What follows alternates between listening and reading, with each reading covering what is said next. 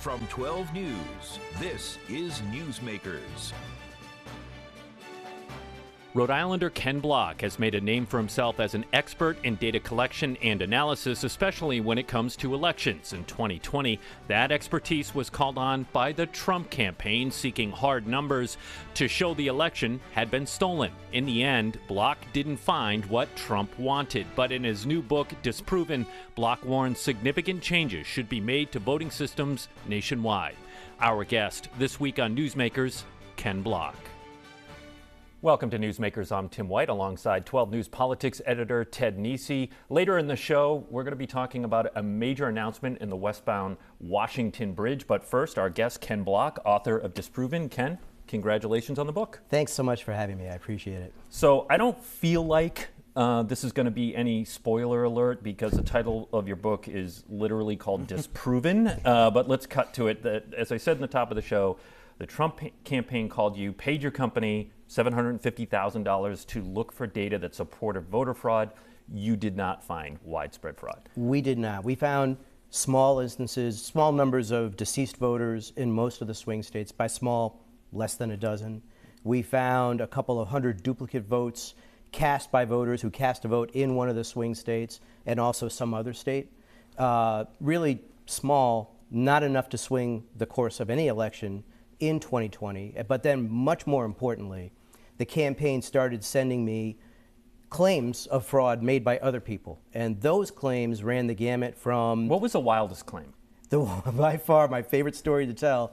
Wisconsin, I received a claim brought forward by a group of volunteers, their, their own des- description of themselves. I had to go, I was directed to go to the Donald.win website where the particulars of this claim were, and they claimed to have found more than 700,000 duplicate votes cast in the state of Wisconsin. That's a lot. They made a basic mistake. They didn't have the in-person votes with the data they looked at, which left them short 700,000, and that's where they sort of went, well, the votes aren't here, there must be duplicate votes. They got very excited they took their finding to the manager of a, of a golfer. First of all, they took it to a golfer. The golfer took the claim to the manager of a Trump golf course. The manager of the Trump golf course sent wow. the claim to Eric Trump, who then sent the, the, claim to the lawyer that I reported to, Alex Cannon, on the campaign, who sent it to me. And it took me about a half an hour to show them why it was wrong, and we put it to bed. One of the, you mentioned Alex Cannon, one of the, the lawyer who hired you and you, you worked with. And it's interesting, you say in one of the early chapters uh, about how you saw kind of the two Trump worlds in front of you. Oh, and this yeah. was a theme all through his administration, and you saw it in that campaign. You had kind of the I, I, guess I would say kind of normal, old fashioned Republican lawyers who wanted to protect their professional reputations but wanted to be aggressive advocates for the president. Correct. And then the kind of out there lawyers we saw in that fall after the election. Sidney you know, Powell. What, Sidney Powell, what Rudy Giuliani did. Um, I guess, what did you make of that dynamic that you saw, getting to see that up close like most of us did not? Yeah. Uh, while it was going on, I didn't. I, First of all, I was extremely busy. We had 35 sure. days to audit a national election. There wasn't much time for chit chat. Uh, I do know a couple of times as I, in my communications with Alex, and by the way, I have to throw some roses at Alex for allowing me to do a straight up analysis he didn't ask me to custom deliver a finding of fraud. And he was and high up in the Trump. He was very high up in the Trump campaign yeah. apparatus. And most importantly, he gave me political cover. Mm. My mm. involvement, my personal involvement, my company's involvement, the names weren't known to the Oval Office, which kept away the political pressure of why aren't you delivering what we need type type thing. Mm. So yeah, I once or twice while I, during the 35 days, Alex did hint to me that there was a lot of bad stuff happening between his group of lawyers and the other lawyers, and I knew who they were at the time, obviously. But then the January 6th depositions in vivid color bring out just how badly those two sides were at war with each other. You know, uh, Ken, you say that you got the political cover, your name and your company's name, Simpatico Software, was not known to the Oval Office but it is now. Yes, and it is. and you're you were part of a, a congressional report, I think uh, initially, or it was hinted at, and that that was you. And then you've written a book about it. Yeah. Have you gotten any blowback or even threats for? Uh, so you know, I'm not going to talk about personal security issues because that just invites problems if you talk about it. Sure. Uh, I'll tell you that there really hasn't, other than the basic social media, what do you mean you're a liar type stuff? No, And uh, that's good because, I mean, look, it's a very factually written book. I wanted to be even toned in terms of my description of the fraud claims I received. It's really important to me that everybody, including conservatives, have the ability to understand why the election wasn't stolen, the nature of the claims that were processed, the, the mistakes that were made in a lot of those claims that came my way. And I can't have that conversation if I'm writing confrontationally and if I'm passing judgment. So I don't do that. Well, and, you know, and I, I say one of the things that impressed me about the book was actually the back cover. You have former Attorney General William Barr, who, of course, uh, broke with Trump at the end and has been very critical of Trump since over these false election claims. Brad Raffensperger, the Georgia Secretary of State, who many called him a hero because he did not uh, give in to Trump's pressure to find the 11,000 votes in Georgia. They both praised your work. I, I think as a reporter reading it, it frankly it reminded me of sometimes what we go through when there's sort of a hot kind of I don't know if I should say rumor or like a, a, point of view people have that we think we've seen the facts that disprove, disprove it, and yet it's hard to get them to agree with that. I mean, how, how do you reach people who just believe in their bones the election was stolen and maybe aren't looking for facts on that? They just believe it. Well, you know, the first challenge for me is to be able to know that my information is getting to them. And that's been a real challenge with this book because even though it's neutrally written and it's just the facts, uh, the coverage of my whole story, being subpoenaed by Jack Smith, being subpoenaed by Fani Willis, uh, and this book and everything else, I'm not getting any coverage in conservative Have media. you been on Fox News? I only got on Fox 5 in D.C. I haven't been on But any not- other but net- not the but, network but, but not Fox the networks, News. No, it's been really. fr- I couldn't even get an opinion piece published in the Wall Street Journal. Oh, really? Yeah. Because they, they like to say they're at least open to Trump critics on this kind Yeah, of thing. it, it's been really frustrating. So we spent uh, quite a bit of time talking about how the thrust, the first half of your book, which a lot of it is you're teaching people how you look at the data and walked them through it and didn't find widespread voter fraud. But you do write about sort of the second half. You think there needs to be reforms in the election system. We're limited on time here. I- so, what's your big ticket item? Well, there, there, there are uh, there are a number of big ticket items, but if I was going to pick one that would fundamentally change how we conduct our elections, that change would be moving to a federal voter registration system. One of the big problems we have with our elections is people move from state to state and states don't cooperate with each other, the information doesn't get cleaned up, and it leaves you open with multiple duplicate registrations all over the place. I believe we should even do away with registration. You should be qualified to vote. You are qualified to vote by the Constitution when you're born or naturalized. So we should issue voter registration IDs at birth, at naturalization, and you carry that one identifier with you through your life and vote. Wait, real quick, because I don't want to spend too much time on this, but I was genuinely curious about that. Um, you know, the Constitution empowers states uh, to handle voting. Would it need a constitutional amendment no, to do what you want to do? because the Congress is empowered to pass laws as they see fit to provide guidance for how our elections are conducted. The difference in how states execute bail, mail ballots between state to state and county to county is a mess. I mean, there, there, there are so many things that are wrong, and we should really consider outlawing uh, ballot harvesting across the country because when you have some states that deliver harvested ballots that count towards congressional races and other states that don't, that's fundamentally a really big difference in how in how elections are conducted. And we the voter experience for our federal elections should be the same everywhere, and it's not. Ken, how, so the end of the 2020 election was a pretty pretty tough time for American democracy. You had the sitting president trying to overturn, you know, using you because he wanted to overturn the results. We end with violence at the Capitol on January 6th. We're now heading into another national election. The same people on the ballot, including the man you worked for here. How worried are you? I'm worried. I don't see that the conversation is changing in terms of the claims of voter fraud and that voter fraud, what the impact of voter fraud was in 2020. And just in 30 seconds or less, what I want to be able to say to everybody is that for sure, the reason that Trump lost, and it shows up in my data, Trump's own pollster told him the same thing immediately after the election. Brad Raffensperger determined this in data in Georgia, is that Trump lost the RINOs. He didn't want them, he told them to get lost. They did. And in the swing states, you can show that his loss was uh, almost exclusively because he told the uh, RINOs to get lost.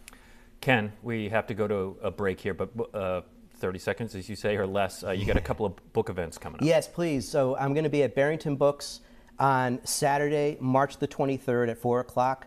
selling books and signing books. If you've already bought a book, you can bring it there, I'll sign it. There are tickets online.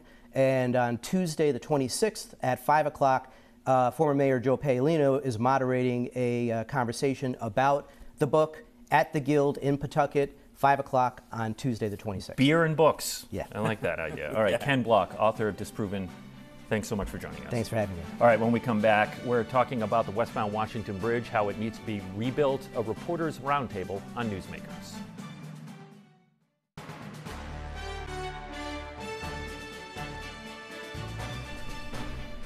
Welcome back to Newsmakers. I'm Tim White. This is a reporter's roundtable. Joining me and Ted Nesi, Nancy Lavin from Rhode Island Current, and Eli Sherman, Target 12 investigator. I want to, if we can, uh, play a soundbite from Governor Dan McKee uh, from a press conference on Thursday when he announced they are going to rebuild the westbound Washington Bridge.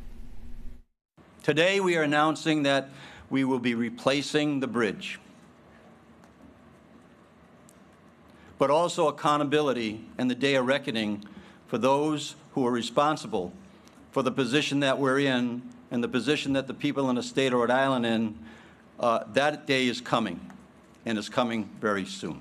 I'm not happy about the fact that where we are right now. I don't know if you got that impression. All right, that was Dan McKee on Thursday at the press conference. Nancy, I'll start with you. Uh, a lot to talk about here, but let's first start with the governor's tone. Um, he talked about the day of a day of reckoning is coming, accountability is coming. He talked about all the people adversely impacted. He said nurses, uh, teachers, uh, students have all been impacted, and he, and he feels their pain. This was really in contrast to how he was back in December. Yeah, I think um, you know the the seriousness of his recognition of the people impacted, the businesses impacted, the motorists, the working professionals. You know, a few months ago he was saying, "Oh, it's an extra 10 to 15 minutes." Now he's really um, sympathizing or empathizing with their um, plight. And also, you know, let's not forget the very first, or maybe it was the second press conference held about this, where he reprimanded um, Brian Crandall at NBC 10 for daring to ask about um, if there was going to be any sort of accountability taken for for people from this and saying that was beyond the pale and now our day of reckoning is here mm-hmm. um, or at least around the corner right. yeah. um, so yeah it's i think he has perhaps correctly, finally, read the room on the reactions to his prior tone and is adjusting. I have to also think, Tim, that uh, to Nancy's point, you know, we have to look at the calendar now. And instead of this being a three month uh, closure that would have been hopefully long forgotten by the time the governor was seeking reelection in 2026, if they hit the targets, which they acknowledge are very tentative schedules without even having talked to the people going to build this new bridge, this could be going on into the summer when he would be campaigning for the Democratic nomination again in 2026. So, and the East Bay is an important oh, yeah. area in a Democratic primary. I'm not saying this is all politics of the government, but certainly maybe a realization on his team that uh, we better have the right message for the voters on this, or we're going to be cooked in 2026. And Eli, I want to talk about what accountability means. I think when when people hear the governor talk about a day of reckoning and accountability is coming, they think inside DOT. They think that you know some heads could potentially roll after whatever uh, amount of time and they're looking at things. But when I hear accountability, I think 38 studios, and I think that uh, what the governor is talking about here is going after uh, private contractors that had wor- previously worked on the bridge and suing them. Yeah, it's certainly telling that Director Peter Alviti was at that press conference with the governor, right? I mean, he's talking about accountability, and, and the, the, the head of the department is sitting right next to him. So if he was out of the room, there might be a little bit more that we could extrapolate from that, like, oh, maybe he's on the he's on the cutting room floor coming up here. But there are a lot of companies, and remember, this project has been sort of caught up in legal battles f- since its beginning. Yeah. Um, originally, it was given to Cardi Corp. There was an appeal there, and then it was given to Barletta, who, who currently has the contract, which, by the way, seems to be ending, and they're going to redirect that money rather than just give the work to Barletta to do it on an emergency basis. So I would look for certainly them looking at some of these companies. Did they mess up? Did they do something? Did they cut corners? And by the way, that's what the DOJ is looking at in their investigation of federal money put into this. Nancy, were you surprised to Eli's point that uh, they aren't using an emergency contract? They aren't sticking with Barletta, and they're doing an RFP process that will what take? They say four months. July. July? Yeah, I mean, I think in some ways it's not a surprise because there has been such scrutiny on this, and when the, the DOJ announced they were investigating, you know, the, what, what little we know about what they're investigating is basically like fudged reports on contracts and, and fudged updates. So, you know, the company that is, or the contractor that has currently been charged with the work, it would seem they wouldn't just want to hand over the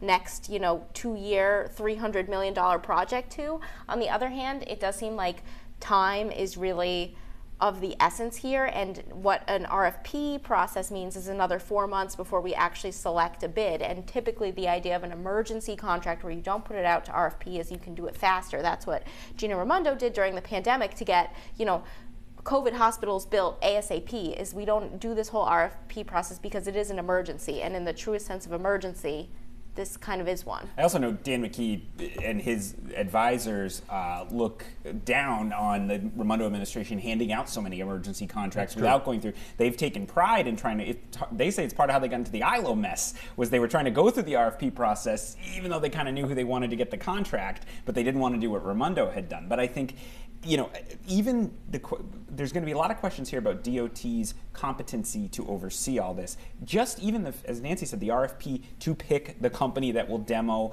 and build the new bridge. To put that together, as well as the inevitable grant applications to the feds, they might need consultants to help with that. Uh, and so, just the, the amount of uh, effort that's going to have to go into even getting this project ready and overseeing it, let alone actually doing it, is, is pretty extraordinary, especially on a compressed time frame. All right, we're going to take a break here on Newsmakers, but uh, when we come back, why don't we talk about the money? You referenced could be up to, they estimate $300 million. Uh, Senate and House leadership not so confident that'll be the figure at the end of the day. We'll talk money when we come back on Newsmakers.